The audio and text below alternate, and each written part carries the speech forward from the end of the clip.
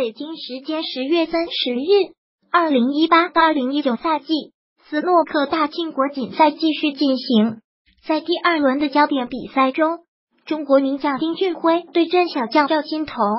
比赛开局阶段，丁俊晖以改前两场的低迷，这回长台准度手距轰破百五个二，率先来到赛点。此后，赵金童尽管连救两个赛点，但最终丁俊晖六比四获胜。挺进十六强后，将对阵老将史蒂文斯。比赛中的丁俊晖，丁俊晖本届国锦赛签约不错，纷纷抢手相对较少的下半区。首轮过后半区最大对手宾汉姆和威廉姆斯先后出局。丁俊晖尽管状态不理想，但延期资格赛和首轮两个六比四险胜赫尔和张安达。在第二轮，丁俊晖将遭遇小将赵欣彤的挑战。后者本赛季中锦赛闯进四强，势头正盛；国锦赛则是首轮击败瓦塔纳，两人此前仅有一次交手。二零一四年亚巡赛上，当时丁俊晖四比一击败只有十七岁的赵欣彤。首局比赛中，丁俊晖一改前两场比赛的低迷手感，这局一上来就是精准长台拼进红球，母球准确降位，黑球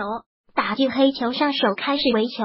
丁俊晖单杆打出幺幺二分破百，也是丁俊晖本届赛事首杆破百，总分一比零领先。第二局中，赵欣彤长台不进，直接将黑球撞摔袋。丁俊晖此后直接一杆精准的长台打进底袋红球上手，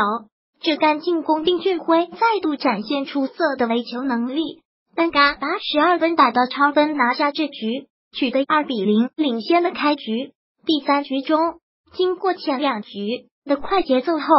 这局丁俊晖手感稍有下滑，赵欣彤安全球失误漏球，丁俊晖拿下六分后打丢红球，赵欣彤随后终于迎来上手机会，连得二十三分后打丢底袋红球，此后比赛进入慢节奏缠斗，丁俊晖连续错失围球机会，赵欣彤零敲碎打下超分拿下这局，扳回一局一比二落后。第四局中。丁俊晖长台上守后，连得是九分降位失误中断。此后，赵欣彤打进一杆精彩的长台组合球上手，连得四十分后大好局面下底带红球失误停袋口，丁俊晖没有错失机会，上手打到黑球胜出这局，总分三比一领先。十五分钟局间休息后，第五局中赵欣彤率先上手，拿下四分后简单中带红球失误。丁俊晖随后连续做出贴黄球的高质量斯诺克，但赵欣彤始终没有留下机会。缠斗中，丁俊晖上手拿下七分后中单失误，此后赵欣彤连续得分，即将超分之际翻带红球失误，最后一颗红球上，赵欣彤长台打进超分胜出这局，总分二比三落后。第六局中，赵欣彤拼长台不进漏球。丁俊晖拿下八分后抵带红球失误，此后赵金童连续获得上手机会，十六杠八后大好局面下简单抵带本球失误，直接留机会。丁俊晖随后上手单杆拿下八世加超分胜出这局，四比二扩大领先优势。第七局中，丁俊晖安全球失误录机会，赵心童手感低迷进攻失误再度漏球，丁俊晖上手拿下二十分后中断。缠斗中，赵欣彤安全球出现摔带失误，直接留给丁俊晖绝佳的上手机会，一杆打到超分，再胜一局，总分五比二率先来到赛点。第八局中，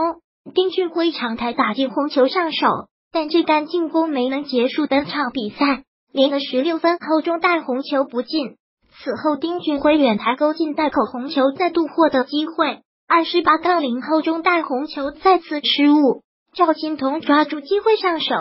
这杆进攻连得九十一分，超分胜出这局，挽救赛点三比五落后。第九局中，赵欣彤长台上手拿下三分后失误，丁俊晖随后幸运球打进红球，但较为失误接他飞球做防守，